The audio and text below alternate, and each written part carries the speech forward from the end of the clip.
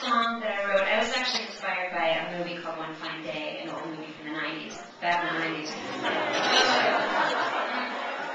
Remember the 90s? And um, it was a was a song that was inspired by Michelle Pfeiffer's character falling in love with George Clooney's character. They weren't actually falling in love.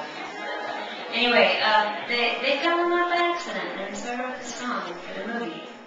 And they didn't use it in the movie. Yeah.